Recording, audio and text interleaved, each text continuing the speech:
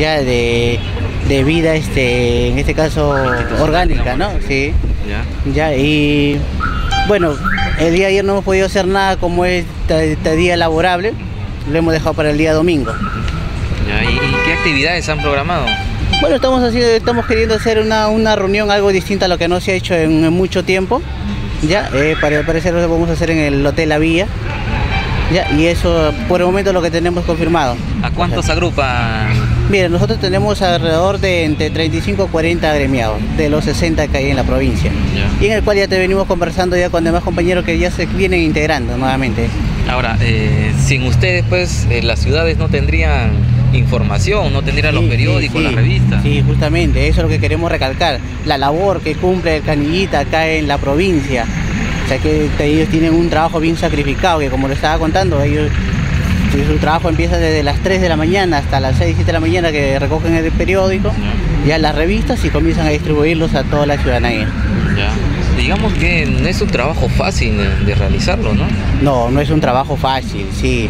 Ellos trabajan todos los días del año, no tienen descanso. El año nuevo también. Año Nuevo, Navidad, no tienen ni día de la madre, ni día del padre, no tienen ni, ni día del trabajador, no tienen. Ahora, eh, nosotros recordamos que eh, habían, años atrás habían tenido algunos tipos de problemas en el tema de los pagos, en el tema de los incentivos por parte de las empresas. Finalmente, eh, ¿cómo están en la actualidad trabajando? Bueno, no es del todo buena, pero por ahí nos venimos consolidando, ¿ya?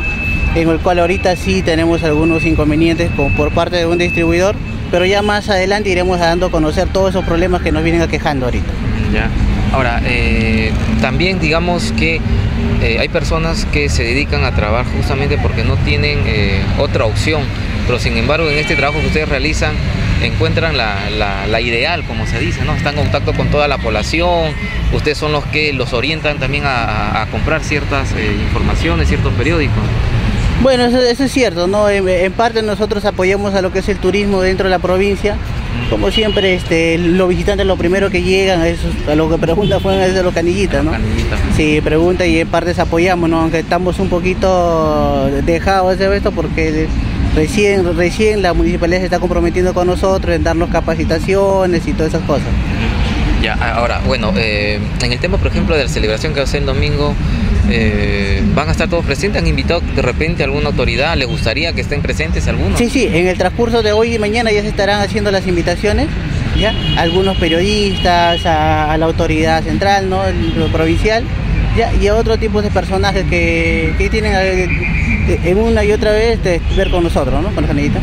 Bueno, 41 años. Sí, 41 años. Sí. Bien, muchas gracias. Ya, ok, gracias, gracias a ustedes.